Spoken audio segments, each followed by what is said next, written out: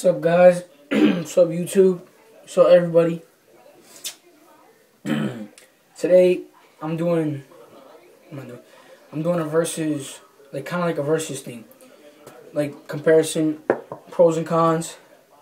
That's curl no drip versus Shea Moisture Curl Enhancer Smoothie.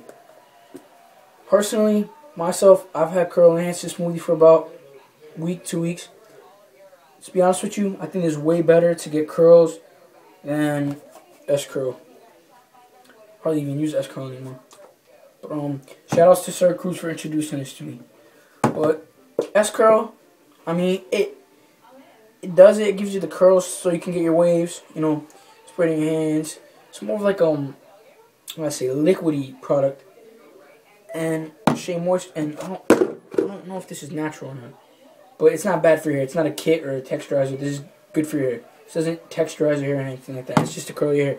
Shea Moisture though, it's got a rich, creamy feeling, like kind of like a cream. it gives you it gives you thick curls if you do it the right way.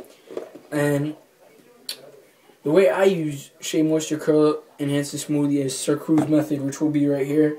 Curl and Shine method. I'll have his link in the description right here. I'll probably have his channel right here. But yeah, guys, this is all natural. Smells really good. You know, curls your hair a lot faster if you do Sir Cruz's method. Um, so to be honest with you, today's verses, I have these two. Crap. My bad, that was my phone. Hands down, Curl Enhancer Smoothie by Shea Moisture. Um, so what you guys think? Which ones you guys think are better? But um, thanks guys for watching. Peace. Oh, and Surag. No do rag, Surag. Peace.